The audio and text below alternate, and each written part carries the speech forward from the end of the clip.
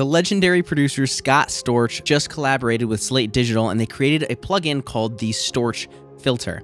Now, I'm not much of a beat maker, and this is mostly for beat makers, so I'm really going to be able to put this to the test to see if it's really as intuitive as they say it is. About a year ago, Slate Digital did the same thing with a plugin called Murda Melodies with the producer Murda Beats, and I was really impressed with that plugin. Like I said, I'm not much of a beat maker, but I've been using that plugin on tons of projects since it came out over a year ago. So now let's check out how this plugin really sounds. So I have a beat that sounds like this.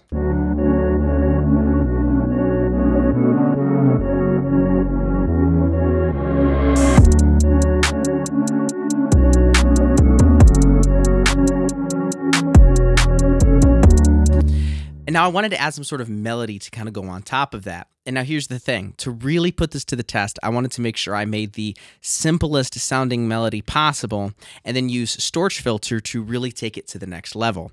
That was my goal. So I just made a little patch here inside of Serum that sounds something like this.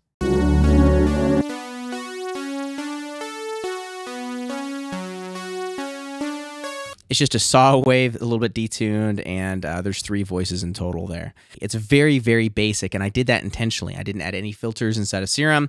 I didn't add any effects inside of Serum. I wanted to really make sure that it was a very basic kind of sound. The only thing I did was create just an envelope to make sure that there's kind of that plucky sound that I'm looking for, and the initial sound is something that I'm looking for. Very, very basic, but it does sound good on top of the beat itself.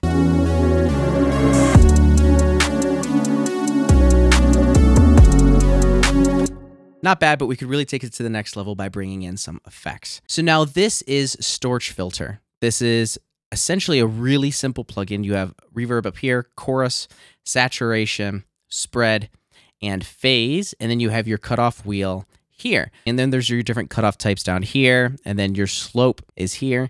The thing that's really interesting to me though is there's this auto button here, and you can have a depth, and your rate can be changed as well to how fast this filter automatically goes up and down. So this is fully automatable, but you can really take it to the next level by just having it done automatically. It keeps you really creative and in the creative flow. So let's solo that melody and take a listen to how this plugin sounds.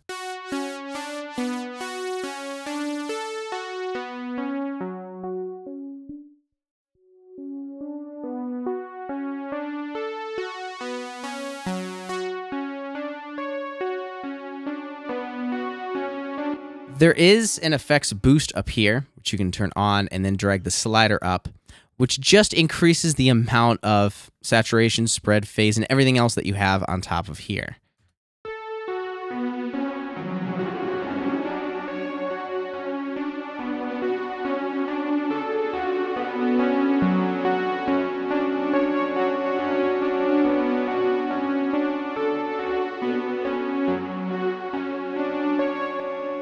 So far, pretty basic, pretty simple, nothing too crazy. But this is where it gets just that much better. So down here, there's this auto button. I can flick that on and it turns on an LFO, which triggers the filter up here.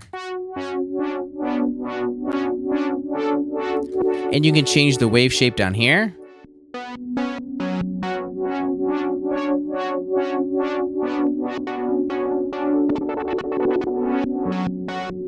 I kind of like that one. I want to speed it up a little bit, so I'm going to do 2 out of 16. Turn the depth down just a bit.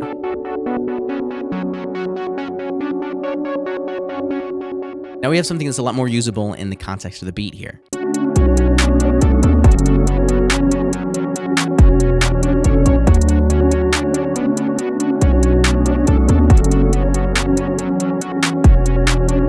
That's sounding great, but I kind of want to automate a few parameters to really take it to the next level. And so that way it doesn't sound so stagnant throughout the entire track. So here I'm automating the cutoff and I'm automating the auto filter switch right here. So that way it gets turned on right when the beat drops. Now let's take a listen to that.